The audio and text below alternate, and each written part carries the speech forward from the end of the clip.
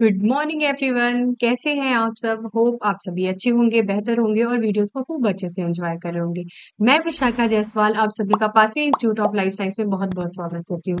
बच्चों, आज जो हम यहाँ पर पढ़ने वाले हैं, वो है मेम्ब्रेन आईजीएम और आईजीएम के बारे में डिफरेंसेस तो आपको सर ने इसके जस्ट पहले वाले लेक्चर में पढ़ाया होगा कि बीसीआर और टीसीआर क्या है मतलब बी सेल रिसेप्टर और टी सेल रिसेप्टर क्या है, उसी के बारे में हम यहाँ डिस्कस करेंगे। कि एंटीबॉडी जो कि एक अलग चैप्टर है और अलग से हम एंटीजन और एंटीबॉडी को पढ़ते हैं, बट यहाँ पर हम समझेंगे कि जो एंटीबॉडी है, उसमें हम आईजीएम उसके कई टाइप्स देखते हैं, पाँच टाइप के एंटीबॉडी होते हैं, जिसमें आईजीएम भी होता है और मेम्ब्रेन आईजीएम आप देखोगे तो क्या डिफरेंसेस है मेम्ब्रेन आईजीएम में और आईजीएम में?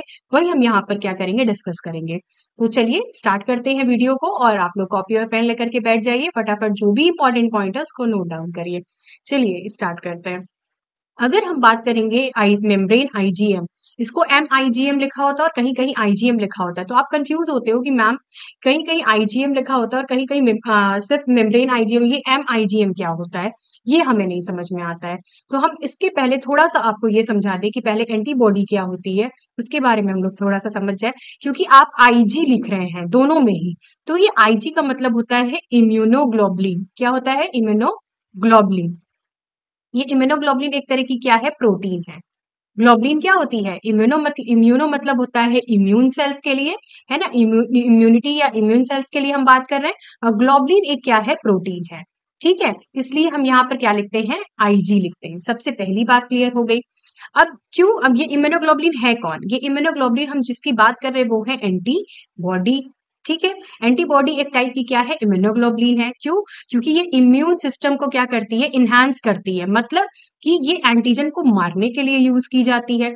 अब ये एंटीबॉडी एक प्रोटीन तो है इम्यूनोग्लोबुलिन है, पर ये एंटीबॉडी काम क्या करती है? कैसे करती है? आप डिटेल एक चैप्टर में पढ़ोगे एंटीबॉडी यहाँ पर बस हम थोड़ा सा बता रहे हैं आपको कि जो बी सेल है, सर ने आपको बताया है कि बी लिम्फोसाइट की बी लिम्फोसाइट की क्या? बी सेल क्या प्रोड्यूस करती है? दो सेल्स बनाती है, एक होता है प्लाज्मा सेल और एक क्या होता है? मेमोरी सेल है ना?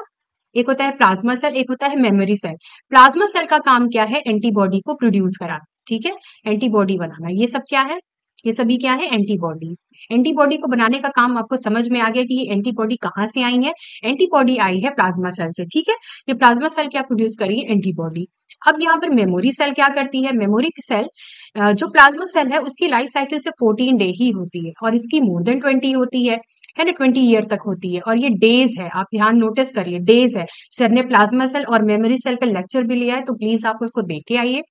प्लाज्मा सेल का काम है एंटीबॉडी को बनाना और मेमोरी सेल उसको क्या करती है? स्टोर करती है ताकि हमें री इन्फेक्शन ना हो। ठीक है?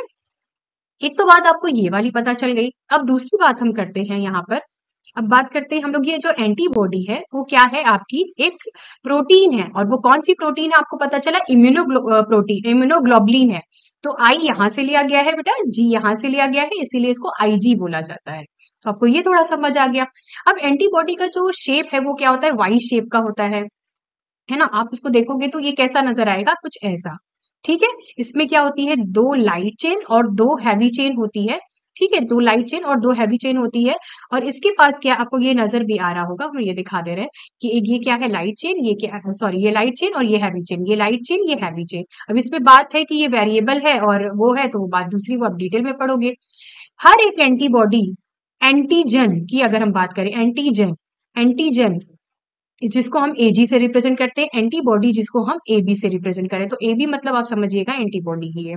एंटीजन की अगर हम बात कर रहे हैं तो एंटीजन क्या है बेटा? एक फॉरेन पार्टिकल एंटी का मतलब होता है अपोजिट एंटी का मतलब क्या होता है? अपोजिट और जन का मतलब होता है जनरेटर मतलब जो अपने अपोजिट किसी को जनरेट करवा दे। और वो क्या है भाई? जस्ट अपोजिट इसके एंटीबॉडी तो जब एंटीजन आता है तो उसके अगेंस्ट क्या आती है? एंटीबॉडी फॉर्म होती है, ठीक है?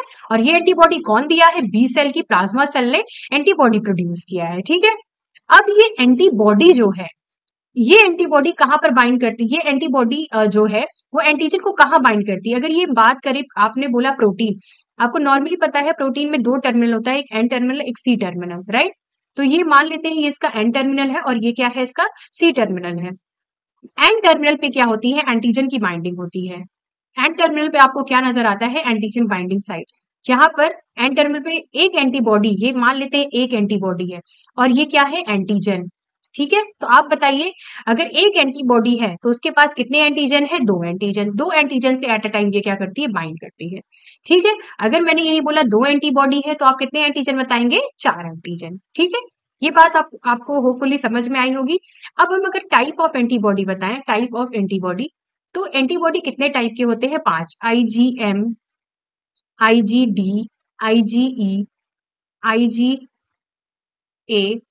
और आईजीजी ठीक है? तो आप ये समझ में आया कि मैंने आईजी क्या यूज़ किया है? इम्यूनोग्लोबुलिन को और एम इसी एम आई जी एम की हम बात कर रहे हैं।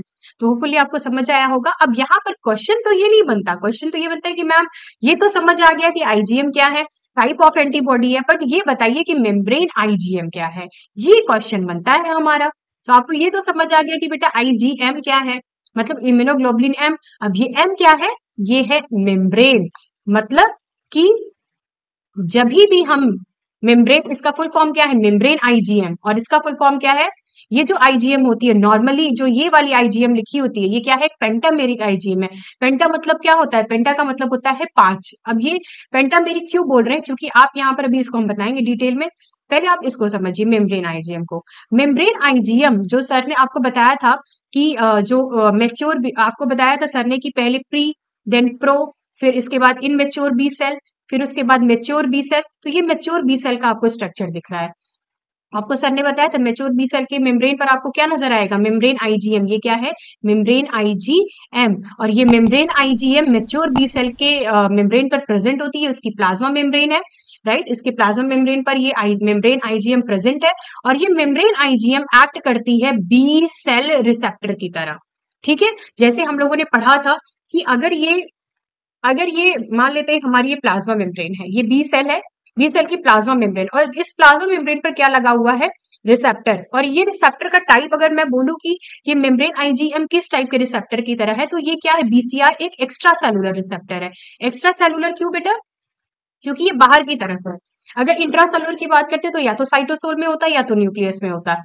तो ये एक्स्ट्रा बाहर प्रेजेंट है मेम्ब्रेन पर प्लाज्मा मेम्ब्रेन पर बी सेल की प्रेजेंट है। अब ये अपने किसकी वेट कर रही है? एंटीजन का। यहाँ पर तो नॉर्मली लाइगेन का रिसेप्टर वेट करता है। लेकिन ये जो रिसेप्टर है ये एंटीबॉडी है ये एंटीबॉडी की तरह बिहेव कर रही है। तो इसीलिए इसको हम बोल रहे हैं मेम्ब्रेन पर प्रेजेंट है इसलिए मेम्ब्रेन और आईजीएम क्योंकि ये एक एंटीबॉडी है ठीक है? और कौन सी एंटीबॉडी है? मेम्ब्रेन ये आईजीएम वाली एंटीबॉडी है। क्लियर अब यहाँ पर ये बात करते हैं ये एंटीजन जो है ये मान लेते हैं ये अगर ये इस, ये प्रेजेंट है ऐसे तो इसके पास एक एक बार में कितनी एंटीजन बाइंडिंग साइट आपको नज़र आएगी? दो है ना? दो एक बार यहाँ पर बाइंडिंग होगी ठीक है? और एक क्या है, यहाँ बाइंडिंग होगी, पर ये पकड़ा तो ऐसे ही है तो यहाँ पर कितनी एंटीजन बाइंडिंग साइट है? दो एंटीजन बाइंडिंग साइट है।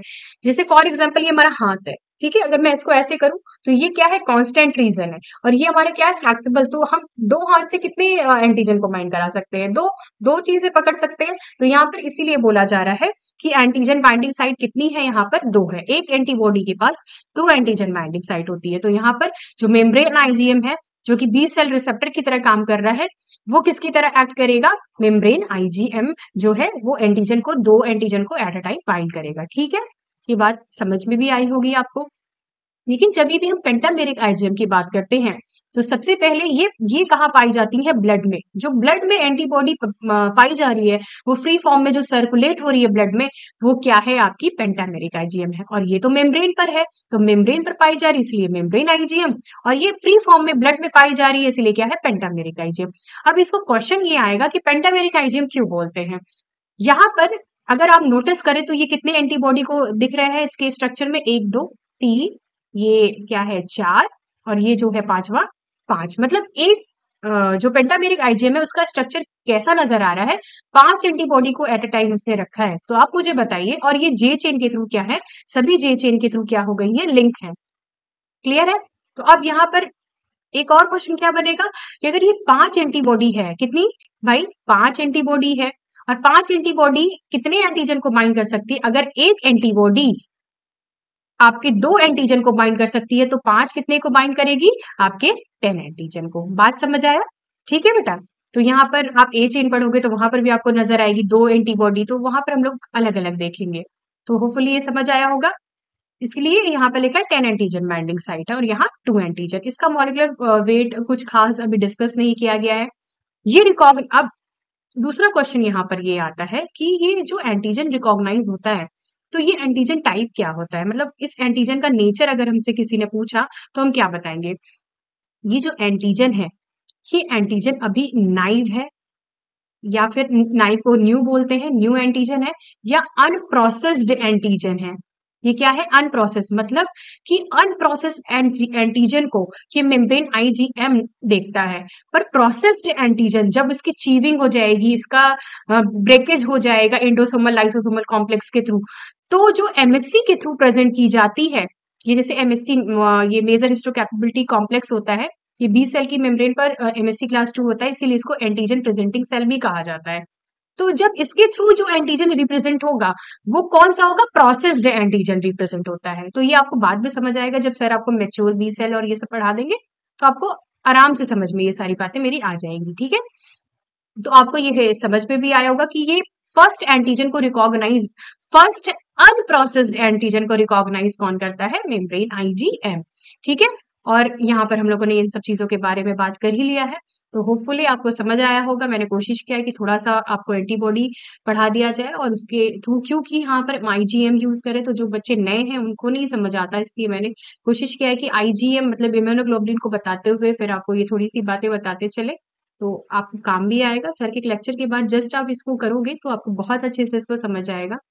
तो आप लोग इसको पढ़िए, इसको लिखिए, हो सकता है ये कभी आपके किसी भी इंट्रेंस एग्जामिनेशन में भी आ सकता है और थ्योरी में भी आ सकता है। तो होपफुली आपको समझ आया होगा और आप लोग कमेंट ज़रूर करिएगा कि आपको कोई क्वेश्चंस होंगे या क्वेरीज होंगी या कुछ आपको एक्स्ट्रा पढ़ना होगा तो आप ज़रूर बताइएगा। Thank you so much